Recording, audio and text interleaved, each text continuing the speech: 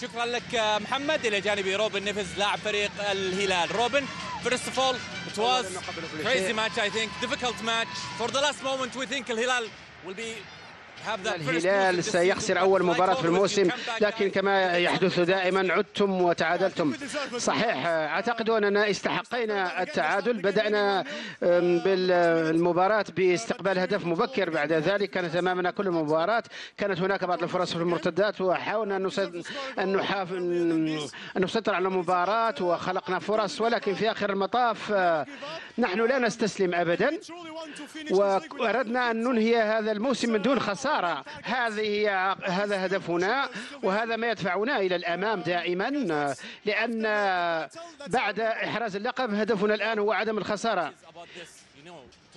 بعد هذه المباريات لما تفوزون باللقب بدون خسارة ما هو الإحساس؟ كما رأيتم اليوم نحن دخلنا هذه المباراة. بعض الأحيان الأمور صعبة لما تكون بطلا. لا تجد محفزات ولا لأنك في نهاية الموسم وتكون مرهقا. ولكن اليوم جئنا هنا للعب ضد خصم كبير النصر.